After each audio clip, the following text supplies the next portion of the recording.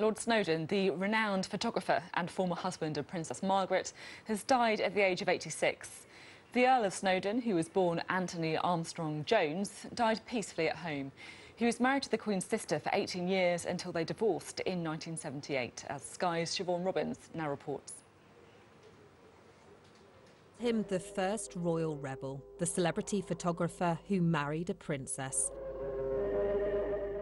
Son of a barrister, it was through his work that Anthony Armstrong Jones first met Princess Margaret. The stylish couple soon captured the glamour and excitement of the swinging 60s. Their engagement and subsequent wedding would earn him the title of Earl of Snowdon, the first commoner to wed a king's daughter for 450 years. They hung out with the Beatles, they hung out with Peter Sellers and his wife Britt Ekland. Um, they knew all the celebrities of the day, uh, and yet they were just not quite celebrity, they were royal. Um, and they did normal things. They went out to dinner, they went to nightclubs, they went partying, they went on very glamorous holidays, and, and oh, they did a bit of work as well. At first, the couple seemed to have a fairy tale marriage. They would go on to have two children, David and Sarah. But soon rumours began of ferocious rows and extramarital affairs on both sides. One friend said they traded insults like gunfire. After nearly 16 years together, the rift was irreparable and the pair separated. Two years later, they would divorce, the first royal couple to do so since Henry VIII. I'm uh naturally desperately sad.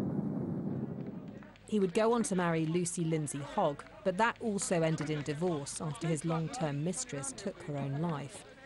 Despite his connections, Lord Snowdon always referred to himself as a snapper. His pictures of the royals and celebrities were widely acclaimed. Today, the National Portrait Gallery said his contribution to photography was profound and far-reaching. Snowdon's was the first portrait Ian Pelham Turner took. He says his work was iconic.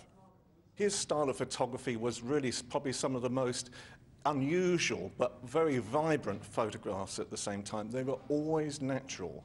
He had this wonderful technique of using daylight and he was one of the few photographers in Britain to actually use daylight studios. And so in that way, he, there was no gimmicks with any of his work. He actually really captured the essence of the portrait. Throughout his life, he battled with the effects of childhood polio and was a tireless campaigner for the disabled. A man of many talents, he also designed the London Zoo aviary, an electric wheelchair, and a revolutionary hearing aid. But despite all of his accomplishments, Lord Snowdon will fondly be remembered as the photographer who married a princess. Siobhan Robbins, Sky News. Time now to have a look at the weather.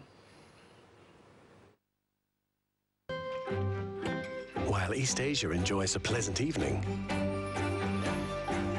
inspiration blooms in